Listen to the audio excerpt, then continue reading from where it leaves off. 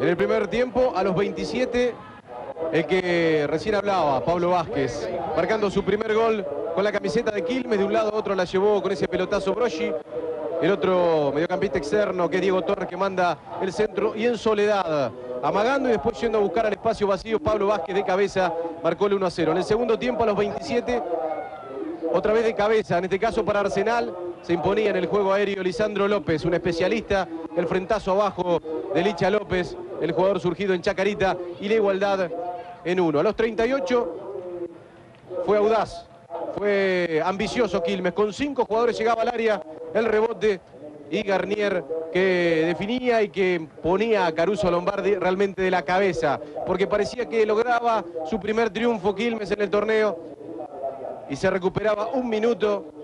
y aquí Luciano Leguizamón, la baja de cabeza a Óbolo, gran volea, abajo rasante, la clavó abajo, imposible para el arquero Trípode, Luciano Leguizamón terminó empatando el partido 2 a 2.